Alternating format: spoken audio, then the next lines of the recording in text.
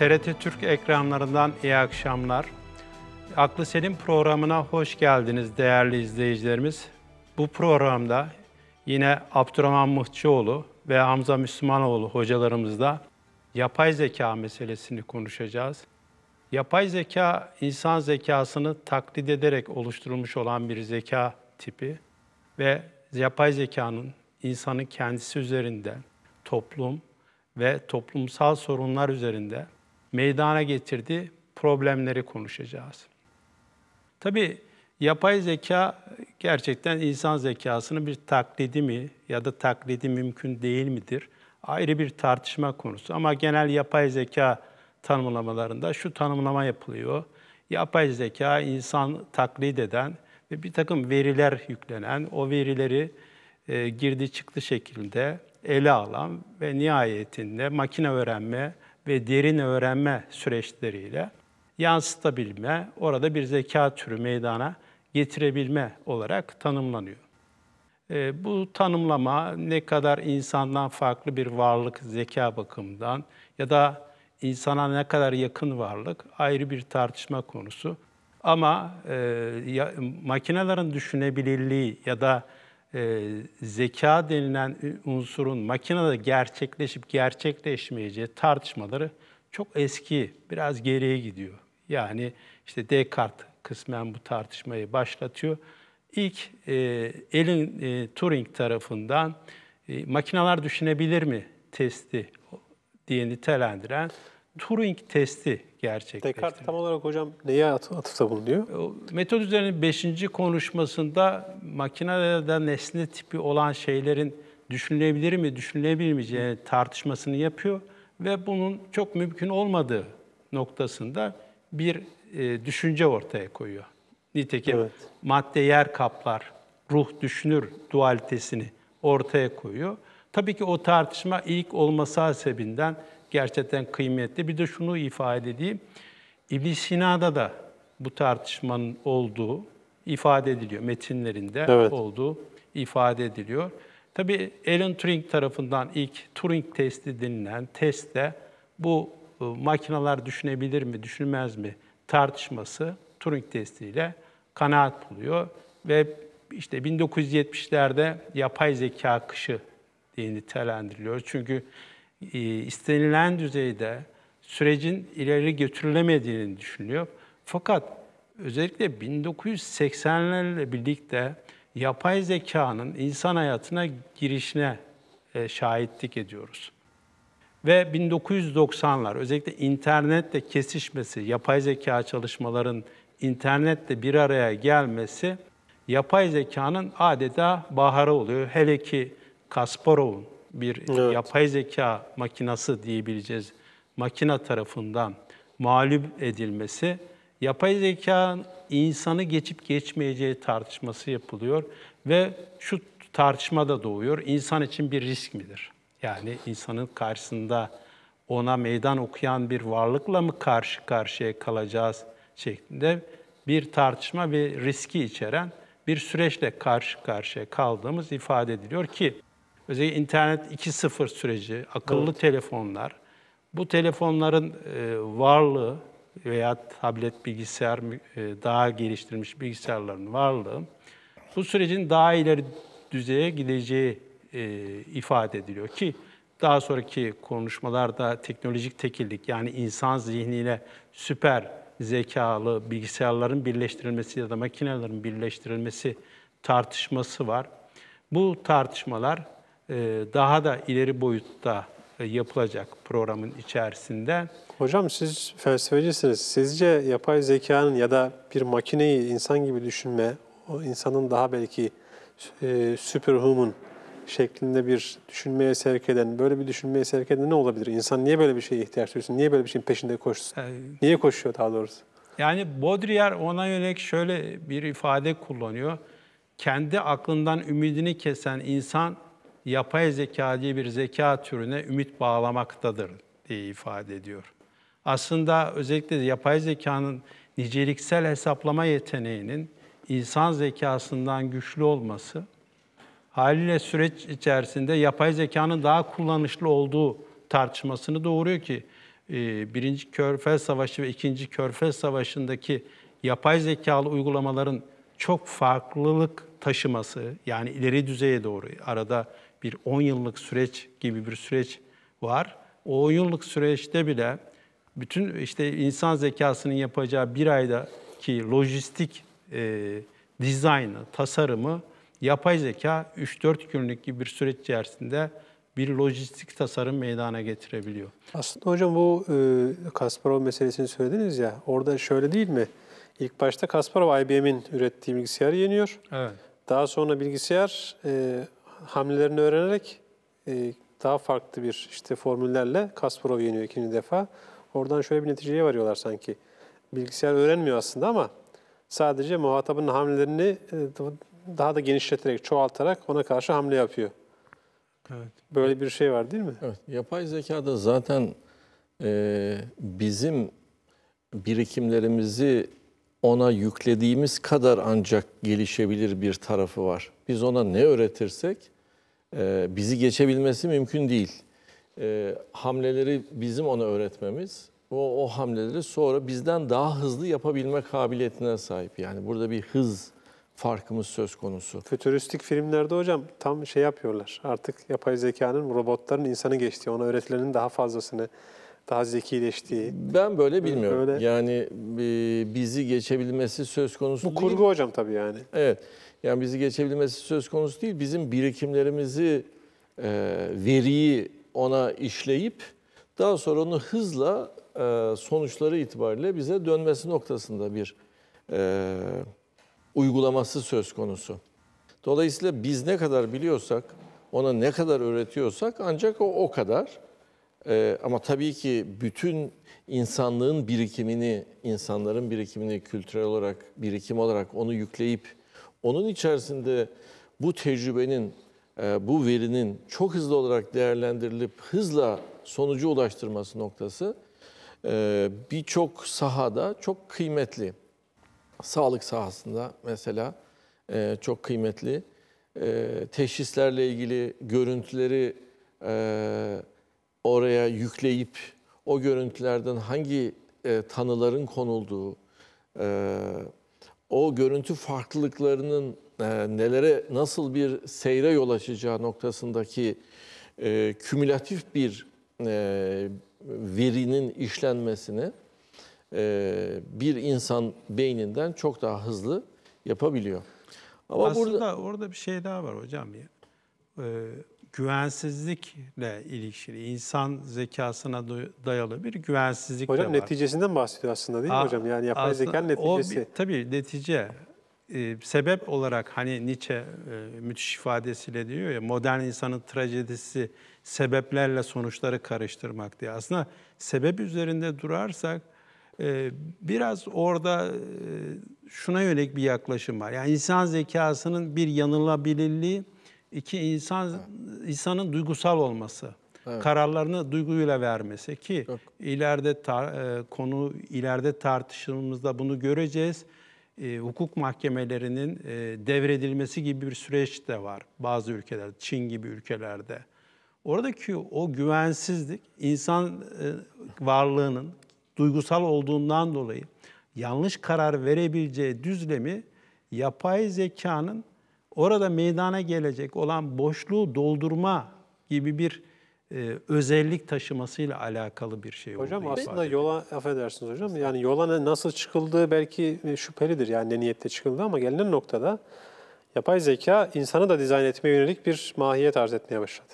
Yani insanın elinden çıkan bir şeyin insanı dizayn etmeye yönelik e, bir e, mahiyet arz edeceği bugünün fütüristik özellikle geleceğe dönük kurgu yapan insanların söylediği şey. İşte gelecekte çipler takılacak değil mi bu yapay zeka, artificial intelligence'da.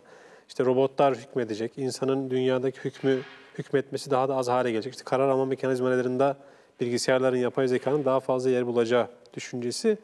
Aslında hocam bu e, meseleyi biraz böyle maziye, geçmişe götürürsek insanlık tarihinde yeni bir şey olmasa gerek. Hatırıma şey geliyor yani bu firavunlaşmak tabiri yani insanın e, tanrılık iddiası ve daha sonra bir adam yaratmak, bir insan yaratmak. Şimdi işte klonlama meselelerini de bu yapay zeka çerçevesinde e, bu bağlamda ortaya koyuyorlar. insanı nesne olarak gördüğü için insanı dizayn etmeye çalışan modern akıl, insanı bir nesne olarak görüyor hocam. Yani böyle ilahi bir varlık olarak değil. Çünkü ortada e, yaratıcı anlayışı ortadan kalktığı anda insanın hayvandan bir farkı kalmıyor. İnsan da hayvan gibi, tabiat gibi hükmedilebilecek, insan tarafından hükmedilebilecek, dizayn edilebilecek, farklı farklı yönleri değiştirebilecek bir malzeme gibi görülüyor. Yani yapay zekada öyle bir şey var benim gördüğüm Yani kadarıyla. aslında o meydan okuma sürecinin olmadığını söyle, söyleyemeyiz. Yani Evet. mesela Alexander Lewandowski, Google'un e, eski mühendislerinden biri. O e, her şeye cevap verebilecek, her şeyi bilecek, her şeyi görecek, adeta hazır ve nazır olan bir yapay tanrı inşa edeceğine dair bir laboratuvar kurduğunu duyurdu. Daha sonra da laboratuvarı kapattı. Şimdi orada bir meydan okuma söz konusu. Fakat burada şunu da görmezden gel- gelemeyiz. Yani yapay zekanın sağladığı kolaylıklar, e, özellikle e, nihayetinde ticari bir süreçle alakalı olan bir e, yapısı var yapay zekanın. Çünkü tıpkı nasıl ki 19. yüzyılda sanayileşmede makinanın ticari süreçte kapitalizm süreciyle ilişkisi söz konusuysa benzeri bir şekilde daha sibernetik ya da yüksek teknolojik düzlemde yapay zekanın ticarette tekrar ilişkisi var. Biz genelde hocam bu teknoloji konusunda da bahsinde de konuşmuştuk geçtiğimiz programlarda. Faydacı yaklaşıyoruz. Modern insana faydacı yaklaşmaya da sevk ediyorlar belki. Yani bak çok faydaları var işte şöyle şöyle. Tamam evet faydaları var. Ama bunu üreten zihni tartışma, tartışılmıyor, konuşulmuyor. Yani mesela e, insanın zübde-i alem olduğunu e, düşünen bir zihin, e, yapay zeka ile birlikte bir robot üreteceği zaman ya da insanlığın hizmetine bir şeyleri sunacağı zaman kendisine bir hat tayin eder, bir sınır tayin eder. Eder yani. Çünkü insan zübde-i alemdir. Hatta işte e, meşhur Esad Efendi, Mehmet Esad Dede, Mevlevi Şeyh, Şeyh Galip diye de bilirsiniz, bilinir. E, onun meşhur gazeli vardır ya, dillere pelesenk olmuştur. İşte e, hoşça bak zatına zübde-i alemsin sen, merdumu dediği ikfan olan Adem'sin sen. E, bu gazel girişi şöyle başlar hocam. Esasında modern insana belki çok daha fazla, günümüz çağdaş insana daha fazla hitap ediyor. Ey dil, ey dil niye bu e, rütbede pürgamsın sen diye başlar. Yani sen zübde-i alemsin. Allah Teala ilahi tecellisiyle sana tecelli etmiş. Seni eşref mahlukat olarak yaratmış ama sen habire gam halindesin, hüzün halindesin, endişe halindesin diye başlar. Ve gazelin bir yerine de şu beyit de yine bize hitap eder belki. Hayftır şah iken alemde geda olmayasın. Yani yazıktır ki bu alemde şah iken sen köle olmaya aday olma. Bu tabii e, nefsin esiri olmakla da ilişkilendirilebilir ve günümüze şöyle e, belki yansıyor. Sen alemde şah iken, insanoğlu şah iken aslında alem onun emrine verilmişken insan robotları üreterek kendisini yetersiz görmesi sebebiyediniz ya.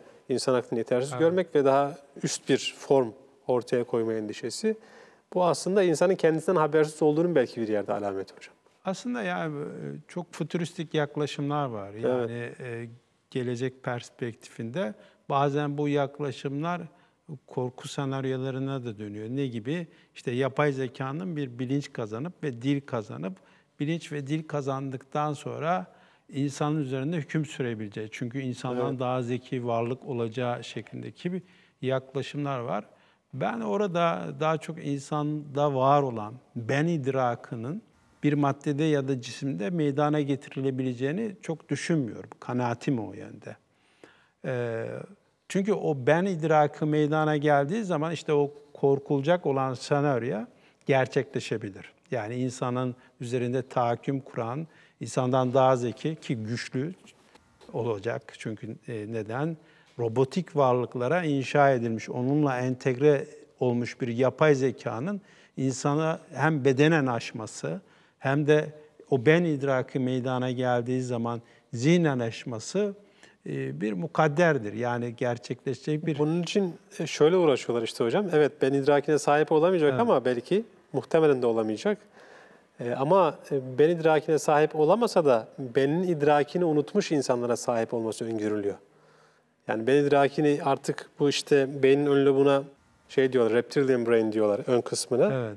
E, Yani sadece hayvanlarla ortak olan hayatta kalma güdüsünü sadece merkeze alan, yeme, içme ve normal tabii ihtiyaçlarından başka hayatının gayesi olmayan insanları yönetme noktasında belki ben idraki olmasa da robotların onu yönetebileceğini düşünüyorlar. Biraz da e, siz şunu kastettiniz herhalde. İşte bugün ne yiyeyim e, şeklindeki bir soruyu düşünme gereği duymayan, Evet. e, yapay zekalı bir uygulamaya sorup ondan fikir alan bir e, tembel insan tırnak içerisinde televizyonların tembel insanı Evet. tekabül eden bir şeyden bahsediyorsunuz. Yani geçen e, bir felsefeci şöyle bir şey söylüyor. Mesela diyor Amerika Vietnam Savaşı'nda diyor e, Vietnam Savaşı'nın hiçbir diyor Amerikan kamuoyunda da makul izahı yoktu. Kimse de bunu Evet. göremiyordu.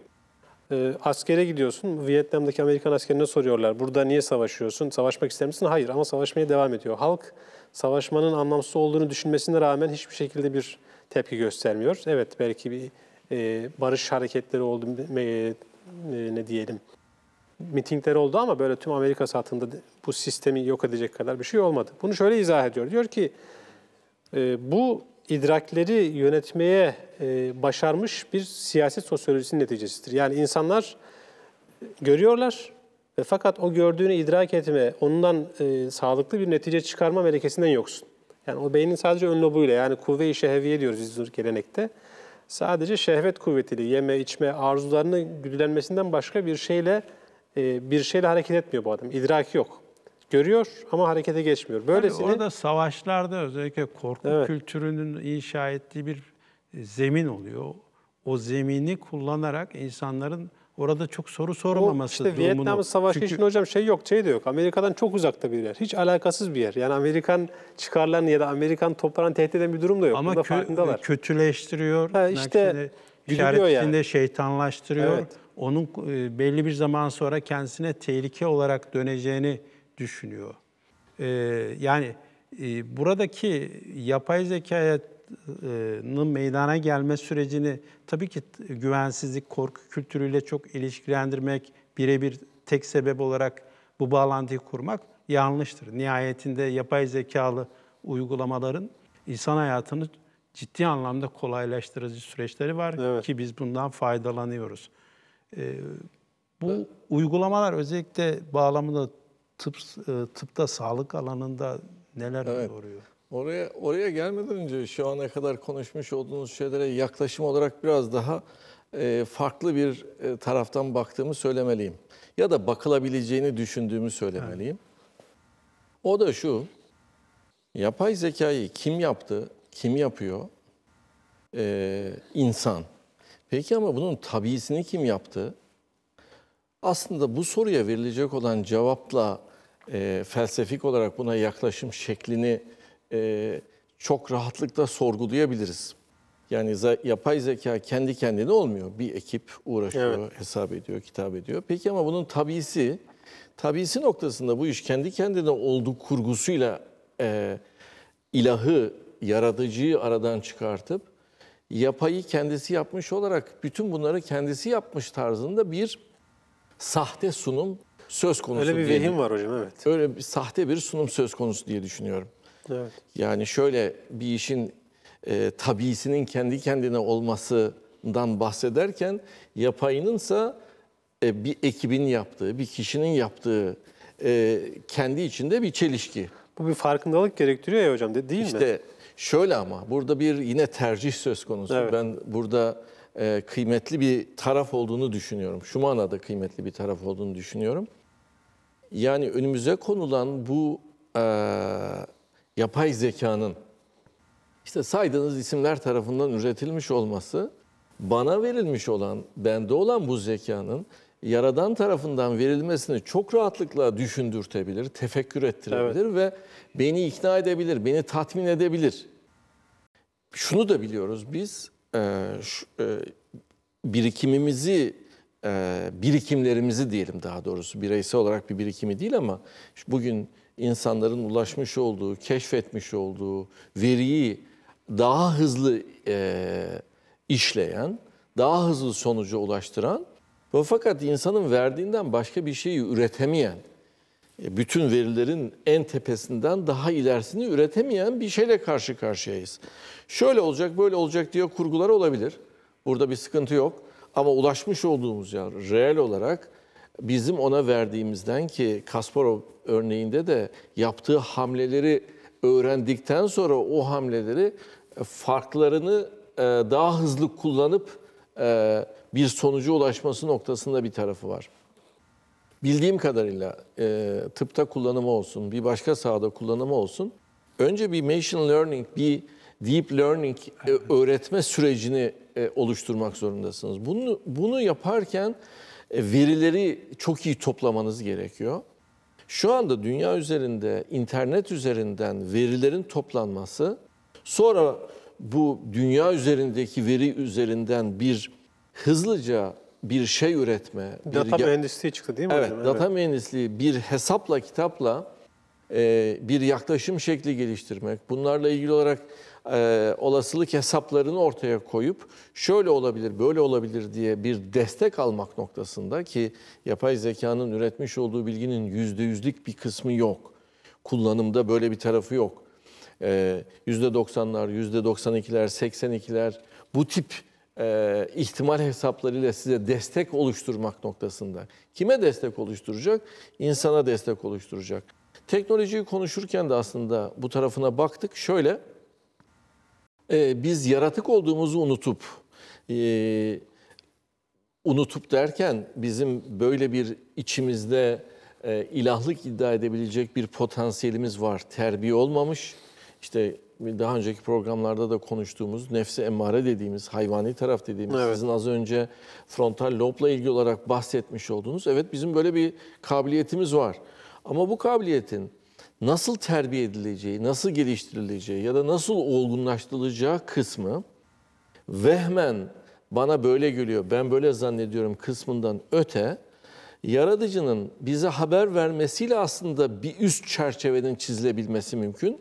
Eğer bunu kabul etmiyorsanız o zaman güç sahibi olarak bütün bu çerçeveleri insan olarak ben çizerim e, mücadelesinin şu anda e, yaşandığı bir dönemi e, idrak ediyoruz diye düşünüyorum. İddia da bu değil mi hocam zaten? Yani insanın kendisinin insan insanın yarattığı, yaratmak kelimesi kullanılıyor değil mi Evet. mesela? İnsan Evet. bir robot yaratacak, yeni bir insan yaratacak yani. Bu gerçekten çok ciddi bir iddia ama e, kendisinin yaratılmış yaratılmış olmadığını iddia edip ve fakat kendisinin bir şey yarattığını söylemek kendi içinde bir çelişki. Çünkü Öyle. kendisine benzeyen bir şeyi e, data dediğiniz şey o verileri kullanaraktan e, e, yapıyorsunuz. Unut işte insan zalumen cehule diyor ya hocam hayat. Zalim ve cahildir. Unutmak yani cehaletini ama bu- habire. Ama bu e, bir deterministik bir şey değil. Tercihiniz buysa ki ilahi e, muhatabiyette e, tamamıyla bir teklif vardır. Yani Allahu Teala yarattıklarına doğruyu, eğriyi gösterip sonra seçmesi konusunda bir teklifte Evet. bulunur. Ne tarafından bakarsanız ben yapay zekaya baktığımda e, Allahu Teala'nın bu işi nasıl yarattığına haşyet duymak, hayret duymak noktasında, aşk duymak noktasında bir tarafta durabilirim. Hocam sizin gibi bilim adamlarının sayısının çoğalmasını istiyoruz. Ben onu yani ben bir kere de durayım da Evet. yani benim gibisi ayrı bir konu. Ama tarihte hocam bu da şey değil, ilk değil yani. Biliyor, hatta beni çok e, şaşırtır. Firavun biliyorsunuz hocam, e, işte Hazreti Musa tepkiye Evet. geldiğinde Firavun der ki ben de yaratıp öldürürüm. Bir adam Evet. çağırır, öldürür, birini de serbest bırakır. Bak der, öldürdüm, yarattım. Orada Hak Teala'nın meydan okuması çok enteresan hocam. E, yani Kur'an neticede kıyamete kadar hükmünü sürdüreceği için bu bugüne de çok daha fazla bu ayet hitap ediyor. Allah diyor ki Hadi bakalım diyor. Başka bir meydan okumuyor. Hadi bakalım diyor. Ben güneşi diyor doğudan doğuruyorum. Batıdan doğursun bakalım diyor. Meydan okuma buraya geliyor. Yani güneşi batıdan doğurmaya varıncaya kadar insanın o e, içerisinde olan e, zımnen bulunan ilahlık iddiasını sürdürebileceğini Allah Teala zımnen bildiriyor belki. Oraya kadar gidebilir ama onu yapamaz diyor. Aslında o meydan okuma e, şeyi e, sadece tek taraflı bir okuma biçimi değil. Yani bugün çok farklı bir kültürün içerisinde olan e, işte e, Noah Harari var. Evet. ya- e, E, Yahudi Harari felsefe. e, işte Homo sapiens'ten bahsediyor. Önce Homo sapiens vardı diyor ve diyor ki 150 bin yıldır insan aynı. Değişen bir şey yok. Evet. Homo sapiens olarak varlığını devam ettiriyor. E, Ve bu insan bu yeryüzüne yetmiyor. Çünkü yeryüzüne bütün teknolojik imkanlar, bütün süreçler çok değişti, dönüştü, farklılaştı ama insan 150 bin yıldır aynı biyolojik varlığını devam ettiriyor. Çünkü bu yaklaşımı savunanlar aynı zamanda evrimci düşünceyi e, savunan yaklaşımlar ve Homo sapiens'ten Robo sapiens sürecine geçmemiz lazım. Yani ne e, biyolojik yönlerini ve zihinsel yönlerini teknolojik imkanlarıyla geliştirmiş bir varlık. Adına transhumanistler transhuman diyorlar. yani geçişsel insan diye çevirebileceğimiz bir ifade ve nihayetinde Homo sapiens e, kitabının yazarı Harari bir kitap daha yazıyor. Homo Deus. Yani adeta Tanrı insan evet. kitabını yazıyor. O yüzden bu meydan okuma süreçleri var ama benim gördüğüm teknolojik gelişmelerde e, daha çok hududu aşmak neticesinde o meydan okumanın bedelini insanlık tarihinde insan ödemiş Evet. olarak görüyoruz. Yani işte bunu en büyük örneklerden biri Salih'in kavmi üzerinden e, değinebiliriz. O, İnsan ama zaten O- e, tercihlerinin bedelini ödemek zorunda. Burada da tercihleri ortaya çıksın diye gelmiş durumda. evet, şurayı tamamlayayım. Özür diliyorum. Yani orada onu, e, Salih'in kavminin mimari ölçekte çok büyük anıtlar, eserler yapması, teknoloji kullanması değil. Belki daha önceki programlarda değinmişizdir. Daha çok hududu aşması. Hatta bir hayvanın hakkına ve hududuna dikkat etmeyişi. Evet. O yüzden e, var olan helaklar ya da insanlığın başına bir şeyler meydana gelmişse özellikle ahlak, ahlak bağlamında hududu aşmaktan dolayı geliyor. işin başında onu teknolojik icatları meydana Evet. getirme bağlamında değil. E, tabii hocam. Öyle ya da böyle ben e, özellikle son iki asırdır insanlığın bu teknolojik araçları ya da yapay zeka gibi uygulamaları kontrollü bir biçimde götürebildiğini düşünüyorum. Ve yapay zekaya yönelik biçilen işte e, çok önemli isimler söylüyor. Stefan Hawking, Michio Kaku gibi kişiler e, diyor ki insanlığın sonunu meydana getirebilir Evet. şeklinde bir yaklaşım sergiliyorlar. Ben biraz orada bu yapay zeka çalışmalarının mucizevi çalışmalar olduğu noktasında orada bir güç psikolojisi uygulandığını düşünüyorum. Hocam 150 bin Hariri diyor ya 150 bin senedir aynı. Aslında insan nefsine mağlup olan insan hep meydan okudu. İşte Babil Kulesi'nin inşası, Firavun, Nemrut, işte Salih Aleyhisselam kavmi. Meydan okumak var. Bu son meydan okuma belki Allah Teala'ya. Hatta e, izleyicilerimize hararetle tavsiye ederim. Üstad Necip Fazıl'ın Bir Adam Yaratmak tiyatrosu vardır. Ahmet Mekin de sonra 70'li yıllarda filmi çekilmiştir. Çok iyi oynamıştır. Evet. Orada e, tiyatronun sonunda, filmin sonunda e, Hüsrev vardır işte başrol oyuncusu. Hüsrev bir tiyatro oyunu yazar. E, bu oyun esnasında işte e, senaryo gereği birisi ölür. Ama gerçek hayatta da e, işte elinde büyüdüğü bir kız ölür, öldürülmüş olur kazara. Orada e, şöyle bir ifadesi vardır üstadın dilinden. Der ki, e, ben bir adam yaratmaya kalkıştım. O Allah ki kemallerin kemali, o noktaya tutkun, bilerek bilmeyerek ondan istiyoruz. Biz Allah'ın muradın nispetinde kemale bürünebiliriz. Fakat o Allah olabilir miyim? diye bir soru soruyor en sonunda. Yani bu esasında üstadın dilinden bu ifade e, Allah'a meydan okuyan kimsenin bir şuur haline sahip olmama, olup olmamasının ne kadar ehemmiyet arz ettiğini gösteriyor. Bugün işte hocam e, dedi ki bilim adamı bir tercihte bulunur. E, Modern bilimin genelde ortaya çıkarıcıları ya da önde gelen şahısları bu meydan okumada hadudu tanımayan insanlar olması hasebiyle zaten bu gidişat. Bu çok e, bizi Eyvallah. endişelendiriyor. Bence de burada hududu kim çizecek, sınırları Evet. kim çizecek? Bütün mesele sınırı ben mi çizeceğim yoksa beni yaradan mı çizecek sınırı? Ben çizeceksem böyle bir yaklaşım şeklini ortaya koyuyorsam zaten yaradanın e, hudut çizmesini reddederek bunu e, Evet. yapmak e, şu anda söz konusu. Zaten meydan okuma dediğinizde kime karşı meydan okuyorsunuz? Yoksa neye karşı meydan okuyorsunuz? Bir var, o varlığa karşı meydan Kabul okuyorsunuz. etmediği için hocam meydanı kabul etmiyor aslında yani. Ama şöyle, kendi içinde e, bu bir e, çelişkiyi barındırıyor. Siz ortaya koymuş olduğunuz bu yapay zekanın tesadüfen ortaya çıktığını iddia eden birisi karşısında teknolojik olarak koydunuz, işte programlar yazdınız, para istiyorsunuz. Birisi de diyor ki size ya bu kendi kendine olmuş bir şey. Sen ne para istiyorsun dese bu ne kadar ahmakça, Hocam akılsızca. işte basiret kapalı olunca hocam bu kadar ahmakça bir şey çok makul gelebiliyor. Valla bunun ben hani basiret e, basiretin kapalı açık olmasının ötesinde yani o öyle öyle girdik mi toparlıyoruz. Ben sadece yol olarak bir yaklaşım şekli olarak buna bakalım.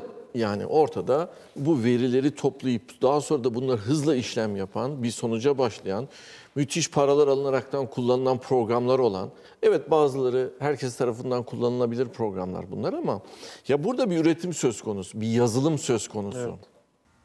Bu yazılımın kendi kendine olmasını iddia etmek söz konusu değilken, bu e, akılsızca bir şey olduğu herkes tarafından kabul edilirken, meydan okumaya gelince bu işin tabisi yani yapayı varsa bunun bir de tabisi var, tabi zekası var yani. yani bu tabii kim yaptı sorusunda. Aslında zımnen ikrar ediyorlar artificial yapay diyerek. As- Onlar ne Evet. yaparlarsa yapsınlar ama ben şöyle bakıyorum hocam. E, madem ki böyle bir taraf var ki burada Allah-u Teala'nın isimlerinden e, bir tanesi huve zahiru vel batinu. Burada zahir olarak ortaya çıkmış bir ismin tecellisi üzerinden de Allah-u Teala'nın ne muhteşem bir şekilde yarattığı konusunda da insan bakabilir. Bence bu bir tercih meselesi. Aslında bir orada- mümin olarak, bir Müslüman olarak ben böyle bakıyorum. Dolayısıyla da o hangi amaçla kullanırsa kullansın, ben bu e, e, ürünü, e, bu e, ortaya konmuş olan e, bu insan çünkü böyle bir teklifle karşı karşıya zalim ve cahil olduğu için bu emaneti kabul etti ama insanın bu analitik olarak yaklaşmış, yaklaşmış olduğu, parçalamış olduğu şeylerden yeni yeni keşiflerde bulunacak şeyleri ortaya koyabilmek gibi bir kabiliyeti var. Bu kabiliyeti Allahu Teala'nın verdiği ve ona teşekkür etmek, ona hayran kalmak, ona aşık olmak noktasında kullanacağı yerde kendisine aşık olmak, kendisini ilah edinmek noktasında bir sunumu var şu anda. Ben farkın e, bu kadar olduğunu, güç sahibi olarak da sınırları ben çizerim dediğini, yani insan tarifini kim yapacak? E, teknolojiye sahip olan, paraya sahip olan, güce sahip olan mı yapacak? Bu yaptığında da kendi çevresini insan olarak tanımlayıp, işte Afrika'da yaşayanları ya da Suriye'den göçenleri Ukraynalılardan farklı olarak sunma hududunu kim çizecek? O sırada İnsan Hakları Evrensel Beyannamesi üzerinden baktığımızda hepsi insan ama uygulamada hiç de öyle olmuyor. Yani yapay zekası hiç de öyle ürünler çıkartmıyor. Aslında o bağlamda insanın nakıs oluşu bana göre insanın en büyük talihlerinden biri. En büyük Talihlerinden biri. Evet. Çünkü Eğer bunu fark ederse, ki fark etmiş insanlık. Yani e, mesela tartışmalar da var. E, neden va- bu talih diye düşünüyorsunuz hocam? Şundan dolayı e, yetmediğini düşünüyor.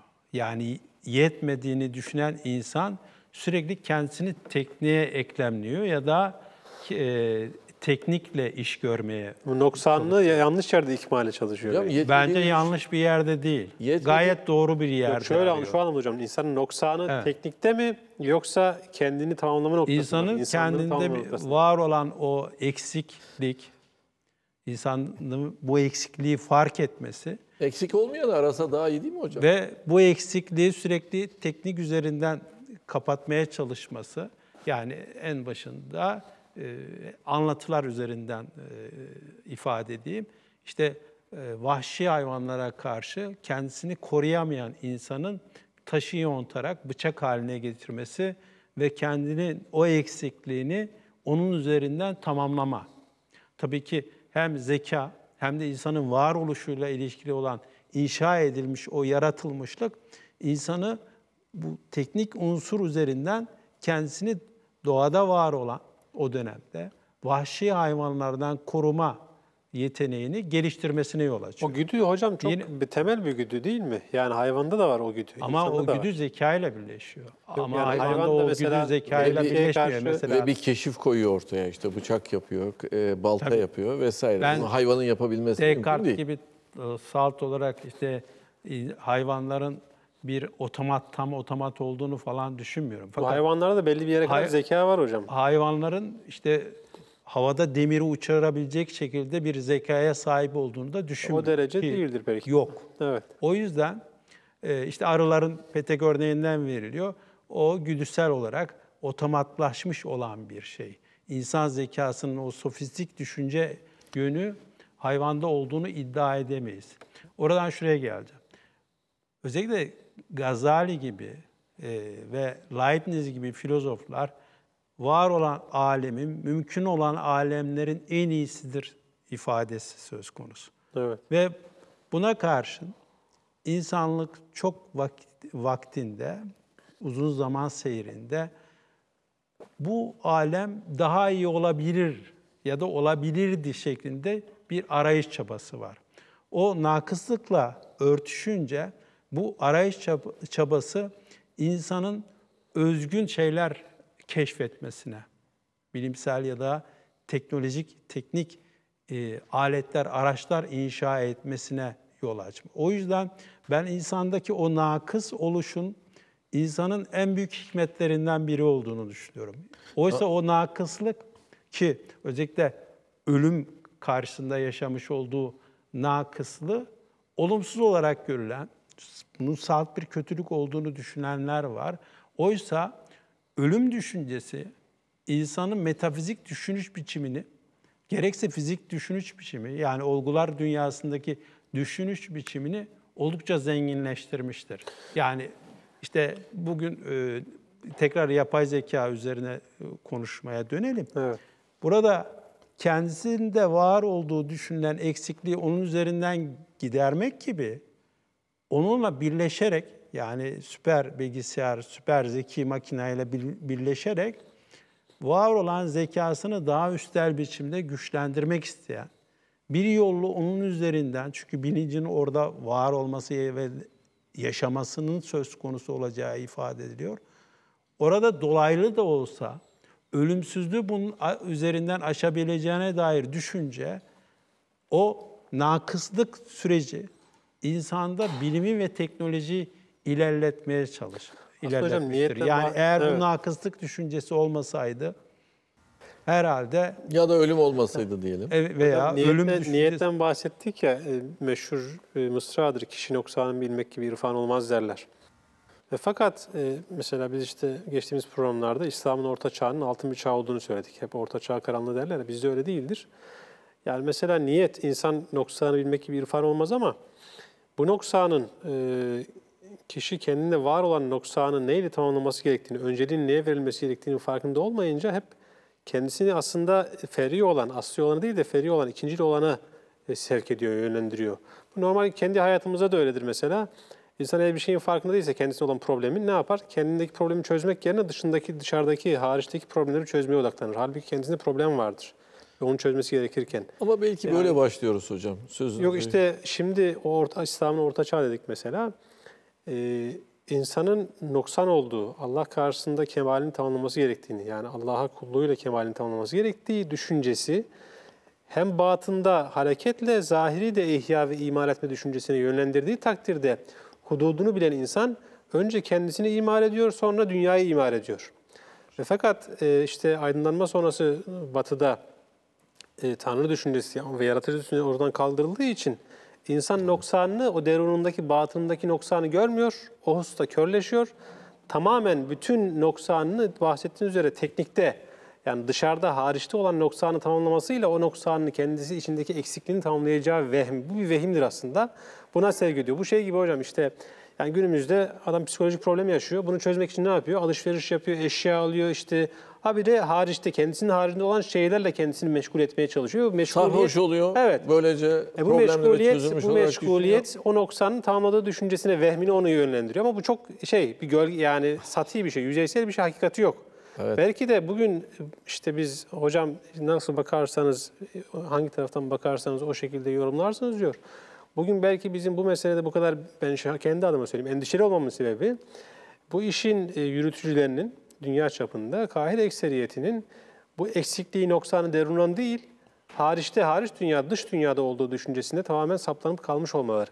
Yani biz dış dünyayı imal edersek, teknikte, teknolojide, yapay zekada işte daha üst bir insan formu ortaya koyarsak, insanlık işte yıkımdan e, ya da işte dünya yıkımdan kurtulacak düşüncesi. Kendileri ilah olacaklar. Evet, yani aslında- Hem ilah yok diyorlar hem de kendi ilahlıklarını iddia ediyorlar. Böyle bir şey büyük bir çelişki. Evet. Ya bunu kim yaptı peki? Halbuki öyle değil. Bu hududu güç sahibi olarak insan tanımını, bütün tanımları, normları kendiniz koyarak tatmin olamamanın getirdiği bir vehim var. Evet. Daha işte robo insan yapacağız biz. Böylece ne olacak? Ölmeyeceğiz. İyi ama yani benim annem öldü. Allah rahmet eylesin. Babam öldü. Peki onlar ne yapacağız? Yani bu kadar insan öldü. İşte 150 bin senedir aynı, şimdi bunu değiştireceğiz. Tabii e, şunu söylemeliyim. E, data şu anda internet üzerinden e, öyle birikti ki bu birikenler üzerinden, yapay zeka üzerinden öyle şeylere ulaşılabiliyor ki, öyle hesaplara, öyle e, ihtimal hesaplarına ulaşılabiliyor ve bundan öyle faydalar üretilebiliyor ki bunu da e, ekonomik e, bir e, gelire çevirmek noktasında bir sunumla yine bu gelirle bu yatırımları yapmak noktasında bir döngüyü Evet. e, kapitalist sistem e, bunu bunu çeviriyor. DNA'da da aslında e, e, insanın işletim sistemi diyebileceğimiz DNA'da da aynı şeyi yapıyor. E, e, bu e, bakış şekline sahip olan insan, meydan okuma noktasındaki insan. Ben e, 80 öncesi liseyi okudum. O zaman e, Allahu Teala'nın yarattığına inanan da bu işi e, kendi kendine oldu diyen tartışmasında 78'lerden 79'lardan bahsediyorum. Orada e, insan e, bir süreç içerisinde böyle oldu. İşte önce kuyruğu vardı, sonra olmadı falan. Ben çok net hatırlıyorum. Ee, inanmayan arkadaşlar 2020 yılında eline de parmağına da ihtiyacın olmayacak, ayağına da ihtiyacın olmayacak. Onlar da dumura uğrayacak çünkü onları kullanmayacaksın tarzında Karşı argümanlar. evet karşı Hala argümanlar bu fütüristik sunulurdu. düşünceler var hocam. 2050-2100 Ya olacak. tamam da bu fütüristik düşüncelerin e, hayata geçmesi yine benim inandığım Allahu Teala'nın e, insana s- e, sunmuş olduğu ve e, bir nezaketen serbest bıraktığı teklifinin sonucunu görmek noktasında da bedel ödemek noktasında bir e, sunumu var. Evet. böyle böyle tercih edebilirsiniz. Böyle de tercih edebilirsiniz. Böyle tercih ediyorsunuz. Bunun bedelini ödeyeceksiniz. Böyle tercih ediyorsanız hakikatle ilgili olarak bir doğruyla ilgili, güzelle ilgili, iyiyle ilgili bir tercihte ki bunu koyabilecek olan sadece ve sadece Yaradan'dır, Allahu Teala'dır. Allahu Teala da bu noktada haber vermiş. Bu haberi de teklif olarak sunmuş. Şimdi fütüristler de bize haber veriyorlar. Şöyle bir şey olacak, şöyle bir şey olacak, şöyle bir şey olacak. Böyle bir endişeye kendi açımdan söylüyorum. Böyle bir endişeye mal yok. Çünkü zaten bu hayat son bulacak tarzında bir haberi inanmış, kabul etmiş. Ve fakat bu üretilen şeylerin Allahu Teala'nın yaratmasındaki sanatın ne muhteşem olduğu noktasında bana Allahu Teala'ya hayranlık uyandırması noktasında bir tarafım var. Ben onu söylüyorum. DNA çalışmalarında da, teknoloji çalışmalarında da yani hüner bilgisini nerede kullanacağız? Sonuç itibariyle bu bir bir e, diğer programda konuşmuştuk. Tekne, hüner demek. E, Bu hüneri nerede kullanacağız? Ne için kullanacağız? Ben e, yapay zekayı e, bir kanserin teşhisinde, tanı konulmasında, e, MR görüntüleri üzerinden e, hızla koyabilmek noktasında. Çünkü şöyle bir hekimin görebileceği hasta sayısı, bakabileceği MR görüntüsü sayısıyla binlerce hekimin bakıp tanı koyduğu e, o görüntülerin yapay zeka ile birbirine bağlanıp oradan o tecrübenin az tecrübeli hekimlere destek vermek noktasındaki katkısı bence çok kıymetli, çok değerli. Ya bunu kullanmalıyız.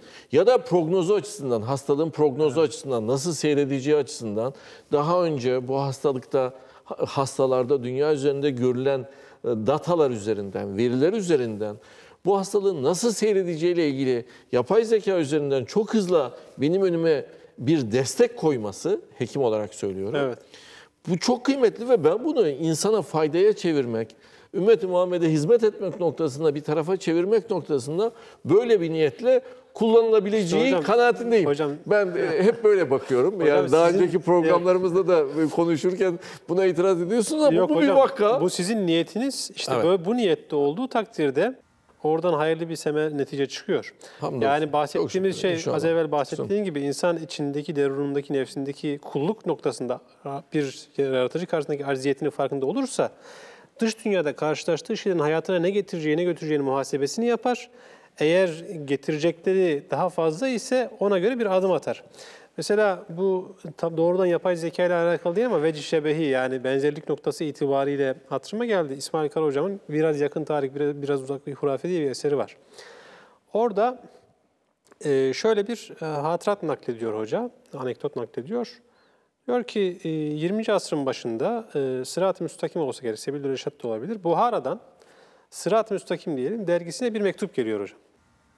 Mektup şöyle, e, diyor ki biz burada diyor, yazan muhtemelen diyor hoca alim bir zat. Biz burada diyor e, tartıştık. Dedik ki gazete okuyan kimsenin imamlığı makbul müdür?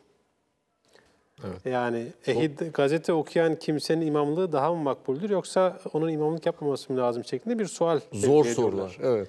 Şimdi tabii Sırat-ı Müstakim Sebil-ül Reşat bizim modernleşme dönemimizde İslamcıların çıkardığı bir dergidir ve nispeten modern bir bakış açısına sahiptir. Tabii e, dergi bunu köşesinde yayınlıyor ve dergi doğrudan hiç hiç telaş etmeden tabii ki diyor gazete okuyan imamlığı daha evladır. Yani gazete okuyan imam olur hatta onun imamlığı daha evladır. Ama Buharalı Hoca devamında diyor ki biz diyor gazete okumak suretiyle diyor e, Kur'an harflerinin daha hızlı öğrenilmesinin mümkün olduğunu farkındayız. Ve fakat diyor gazetenin diyor gazeteyle birlikte diyor gelecek haberlerin bizim düşünce dünyamızda açacağı açması muhtemel yaralar, değişiklikler, ondan sonra e, farklı dünyalara bizi yönlendirmesi, e, var olan değerlerimizi sarsması gibi endişeleri göz önüne aldığımızda diyor varsın diyor biz Kur'an harflerini biraz daha geç öğrenelim. Burada e, benzetmeye çalıştım yani bu misali niye verdim? Şunun için verdim. Yani bir gazeteden, gazete vesilesiyle dünyasına girecek fikirlerin, düşüncelerin, hayat tarzlarının, endişelerin e, onu var olan geleneğinden, değerinden koparacağı endişesiyle ben bunu diyor getirisi götürüsü hesabını yapıyor. Diyor ki bunun götürüsü daha fazla olur. Ama Ben şöyle bir şey var. Yani o şunu söyleyeyim hocam reaksiyon e, çok işe Ha, yarar mı? Yok şunu Meseleyi söyleyeyim. çözer Ha, mi? o Yeni bir şey ortaya koyar mı? tartışılır hocam ama- Kendi dünyasında o varlık Bu devam endişe edebilir. ama bu endişe kıymetli bir endişe hocam. Biz esasında modern dönemde bu endişeyi kaybettiğimiz için geçtiğimiz programda da bahsettik, teknoloji bahsinde bahsettik. Yani böyle kollarımızı açıp gelsin de her türlü gelsin biz hiç kayıtsız şartsız bunu kucaklarız anlayışı bunun yerine kaim oldu. Yani bu endişeler hiçbir şekilde artık hayatımızda yer bulmuyor. Yeni gelen her şeye bu yapay zekanın işte üreteceği şimdi insanlar artık biz hocam hayreti kaybettik demişti bir büyüğümüz. Biz hayreti kaybettik. Yani insanoğlu günlük hayatında, tabiatta, eşyada Hakikate hayret Allah'ın- olabilir. Yani Allah'ın- sahteye yok, hayretimiz devam yok, yok. ediyor hocam. Allah'ın işte onu söyleyeceğim. Allah'ın yaratması karşında o kudret karşısındaki hayret. İşte bir adam ağaç görüyor. Ya da insanın işte işleyiş, zihin, vücudun işleyişi. İnsan ona karşı hayret et, ona bir hayreti yok ama teknolojide bir ürün çıkıyor. Aa diyor böyle bir şey yapmışlar. Ne kadar mükemmel bir şey yapmışlar. Halbuki o teknolojinin ürettiği şeyin alası insan vücudunda tek başına sadece insan vücudunda mevcut. İnsan hayreti kaybetti hocam. Ve bu endişeyi kaybetmiş olmamız bizi çok savunulmaz kılıyor. Yani biz artık zırhsız zırhımızı çıkarmışız. Gelen her şeye, bu maddi ya da e, manevi her şeye göğsümüzü siper et- Bu noktada yani. düşman niye hücum ediyor, böyle silahlar üretiyor dememek lazım. Tabii, hayır, onun. Zırhlarımızı giymemiz lazım diye. ben de onu söylemeye. Yani çalışıyorum. şöyle Yani, hayretin kaybı yani e, çok erken süreçte olan bir şey. Çünkü nesnel ve olgusal olana yönelme adeta Aristoteles'te oluşuyor ve felsefe bilim doğuyor falan. Orada daha sonraki süreçlerde bizim e, en büyük problemimiz özellikle İslam dünyasının e, en büyük sorunu bir ne oldu? Bunun bilgisine sahip değiliz. İkinci olarak da başımıza ne geldi ve var olan süreçlerin üreticisi olma ya da e, hakimi olma sürecinde problemler yaşıyoruz. Yani ne gibi? Bir kere 17. yüzyılda olan şey daha çok ruhun bilince dönüşmesi, aklın zekaya dönüşmesi hikayesiydi. Evet. Ve ruh bilince indirgendi, akıl zekaya indirgendi. Ki ikisi çok birbirinden farklı kavramlar. Yine yine bu bilime sahip insanın kendi kendine ilahın vermiş olduğu haberi göz ardı ederek ulaşmış olduğu bilgiyle yaptığı tanımlamalar ve sınırlandırmalar bunlar. Sınırlar. Yani semavi sizin her ikinizin de ifade ettiği semavi olanla ya da yaratıcı olanla ilişkiyi koparmak var olan düzlemde hududun ne olacağı belirsizliğini doğurur. Evet. Sonra da güç sahibi Evet. olarak o hududu Bu- belirleyebileceğini ilan etme. Evet, ve bunu yönetmek gibi bir tarafı e, var. Özellikle 19 ve 20'de 20. yüzyılda şöyle bir şeyle kapanmaya çalışıldı. Etik ve hukuk üzerinden Evet. kapanmaya. Ama o etiğin Kapa- sınırlarını tayin eden Yani- yine insan. Yine insan. bizdeki. Hümanizm Evet. Evet. insanı ilahlık noktasında merkeze koyup ahlakı da yani ona etiği de kendisi Evet. tanımlıyor. Ne iyi ne kötü. Tam da ben onu söyleyecektim. Ee, etik kavram bizdeki ahlak kavramı yani huy ya da seciye kavramını karşılayan kavramla e, bir benzerliği yok. Oldukça Böyle farklı. kullanıyorlar ama hocam Latince'de etikos yine ahlak manasına gelen bir kelime. Yani- ama onu alıp şöyle demek istiyoruz. Ee, kültürel olarak e, toplumdan topluma değişen, oranın örflerine, adetlerine göre değişen şeylerdir diye mesleklerde daha çok bunu kullanıyoruz şu anda. Meslek etiği diye bir şey. Dolayısıyla meslek erbabının o, o güzel huyu nasıl tanımlamasına bağlı olarak sanki oluşturulmuş ama yani e, Çin'deki bir e, insan DNA'yı kesip, DNA'nın işte CRISPR teknolojisiyle kesip AIDS virüsüne karşı e, bir daha AIDS virüsünün o insana zarar vermesini engellemesi noktasında yapmış olduğu hareketin karşılığı Avrupa'dan etik kurallar noktasında çıkıyor. Tamam da Çin'deki de şunu söylüyor. Niye senin koyduğun kurallara uyuyayım? Ben de burada 1 milyar 400 milyon insanım. Teknolojide hünerimi de geliştiriyorum şu anda. Ya ben de bir tanımlama yapabilirim. Bunda ne var ki diyebilirim. Şimdi bu hududu kim çizecek sorusu, ne için çizecek sorusu bence ana nokta. Ben bir mümin olarak ayet-i kürsü okuyoruz biz her gün namazdan sonra.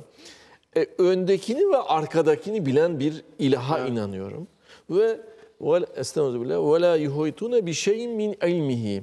Allahu Teala'nın bu lütfetmiş olduğu ilmin bana ya da e, Allahu Teala'ya inanmayana bütün bu keşfin müsaadesinin onun tarafından verildiğini Evet. ve bu verilen de tercihen ona hayret etmek, ona aşık olmak, onu tanımak, onu sevmek ben kulluğu böyle anlıyorum.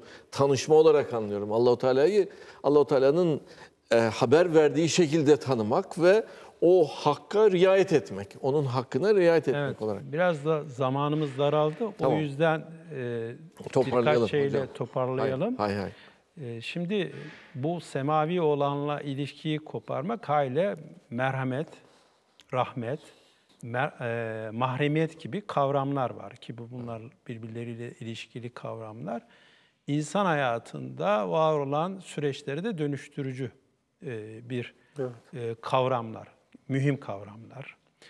Bir de bunun yanında özellikle işte biraz önce bahsettiğimiz insan zekasıyla makine zekasının birleşimi ya da çip takma ki İsveç'te, e, Avrupa Evet, bazı başka. ülkelerde uygulanan bir şey ya da e, Çin'de uygulanan dijital sertifika programı işte e, sizin e, yapmış olduğunuz davranışlar Sosyal kredi e, diyor. sosyal Evet. kredi olarak puanlandırılıyor. E, evden çıkamama kadar bir sürece kadar götürülebiliyorsunuz. Bunlar tabii ki özgürlük alanında da daraltan, mahremiyet sınırlarını da ihlal edebilecek süreçleri doğuruyor. Tam da köleleştiren, çipe mahkumsunuz çünkü. Allahu Teala'nın yazılımında bizi mahkum etmiş olduğu şeylerden hesap sorması söz konusu değil. Bizi yaratan böyle bir programı bize vermiş ve teklifte bulunmuş. Oysa şimdi bu çip üreticileri onu koyup onu köle haline getirmek noktasında kendi yazılımlarını uygulamak noktasında bir tarafı var. Ya böyle bir e, karşılaştırmayı yapabiliriz hocam diye düşünüyorum. Yani beden ruh dualitesinin aşılması biraz insanlık için ciddi problemli bir süreç olacak görünüyor. Evet. Nesneleştirmek insanı gerçekten problemli, sorunlu bir şey. Nihayetinde insan ruh ve beden varlığından oluşmuş olan bir varlık türü. Evet, e, bir programın sonuna daha geldik. Bu hafta yapay zeka meselesini konuştuk. Yapay zekanın insan ve toplum üzerindeki etkilerini tartıştık. Bir sonraki programda görüşmek dileğiyle. Hayırlı akşamlar, hoşçakalın.